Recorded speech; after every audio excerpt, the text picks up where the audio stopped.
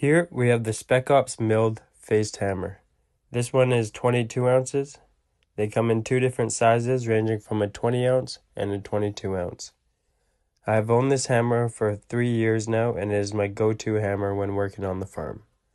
I have left it outside multiple times so it has rusted up a little bit, but it still gets the job done. It is made from high carbon steel with a magnetic nail starter on the head it also has a shock absorbing non-slip grip, comfortable to use for long periods of time. The company offers lifetime warranty for all their products. They also donate a portion from each sale towards veterans and first responders.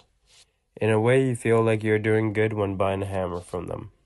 You can also buy a mallet cap for working with wood, and you don't want to leave marks. Overall, I really like the Spec Ops milled face hammer and would buy again if needed.